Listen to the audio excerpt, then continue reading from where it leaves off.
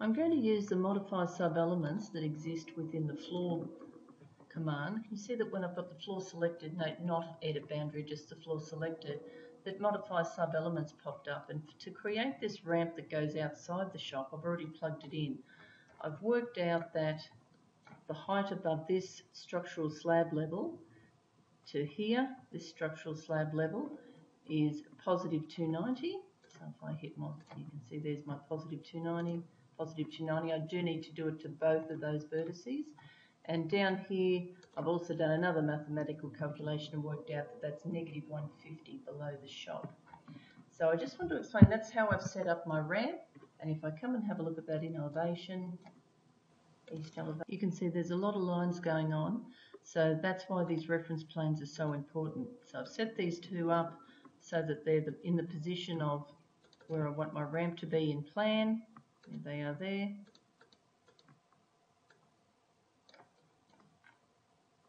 Uh, if I wanted to, I might put a name on them so I could remember if there was a whole lot of reference planes, but I'm not, not needing to do that this time. So my east elevation, you can see that I want my ramp to start there, which is just above the floor level there. So just a smidge above the floor level there and a little bit high there, but it needs to come down so that it's perfectly flat by the time that it hits that floor level. So what I'm going to do is back here in my floor level, I'm going to draw a floor, just a simple floor. I'll just use a concrete slab for the moment.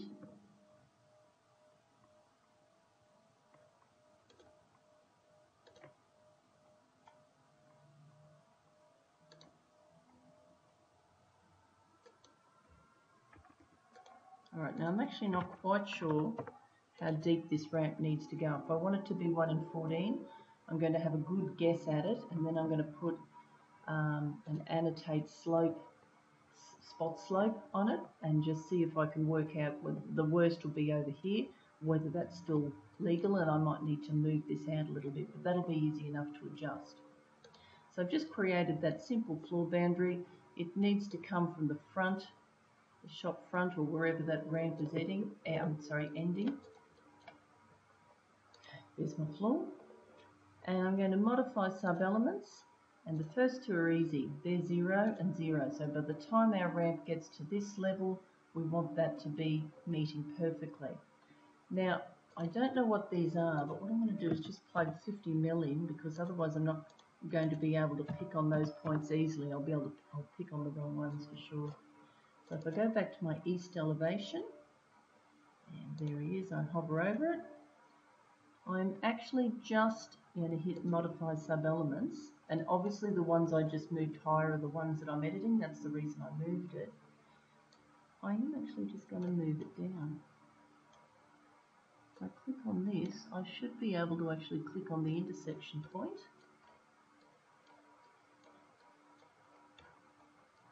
Zoomed in too far now click on this one modify sub-elements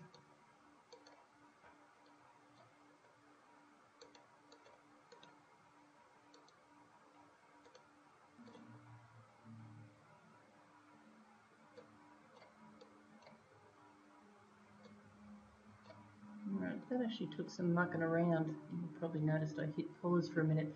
This end one wasn't selecting, so I ended up having to use a selection window and then just use the control arrows. But because I've put the reference plane in and this is a line, it does allow me to move exactly to where I want it to be. And if I pop into a 3D view, shaded, you can see that it is actually going from the very edges of that ramp. So it's ramping up and it's also ramping down. Probably not able to see where it's ramping down because I've got that so thick. So let me just fix up the internal floor for a minute. Okay, so I've just edited that floor. The floor wasn't extending all the way around. So you can see there's a tiny little ramp down here. If we to turn around, it's a little bit tricky to control this one because I've got a big CAD drawing. You can see that there is a bigger ramp up on this side. And then it all finishes perfectly flush with that floor at 0, 0. I'm just going to hide this CAD drawing. I'm just right clicking and hiding the view. And we've got got that ramp. So last but not least, I need to check that it's legal, see how my best guess went. So up under annotate, I've got a spot slope and I'll just go into the edit type. I actually, normally I change that unit format so that it's a decimal degree. I do want to show this as a rise over, I guess 100 millimeters is going to do, no, one, a ratio. Let's see how that goes. Okay, so I've got a 1 in 12 is my worst. Hmm, no, not looking that way. I want it to go straight across. Yep, that's good. So my steepest angle is only 12. Perfectly legal. Okay, one ramp done.